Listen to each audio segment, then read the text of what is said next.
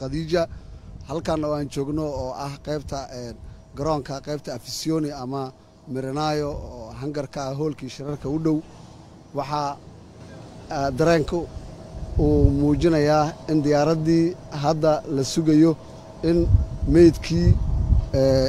oo sanduuqii caadiga ahaa ee calanka soomaaliya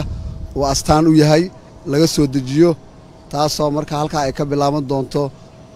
inay ciidanka qaranka ay soo qaadaan kadibna ay mas'uuliyiintii wasiiradii iyo qaybihii kala duwanaa ee bulshada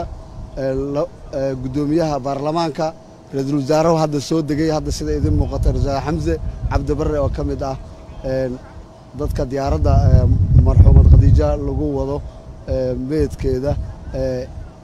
maadaama ay ka mid ahayd mas'uuliyiintii shirka ka qayb gashay shirka madasha heritage ee dalka jabuuti kadibna uu asiibay xanuunka ay u geeriyootay. Marka hadda waxaan si toosa idinkugu dubayaa muuqaalka tooska ah ee diyuuradda si aad ula socotaan. Qaybta dambe oo loo sii qaadi doono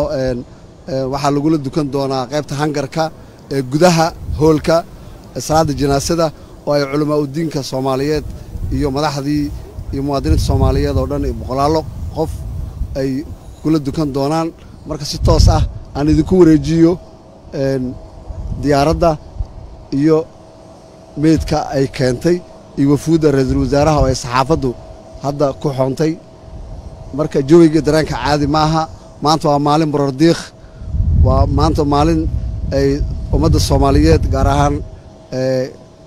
dowladda federaalka soomaaliya madaxdeedii hay'adaheedii kala duwanaa aanay u kala harin in ay muujiyaan qofka ka baxay inuu yahay qof aad ugu weyn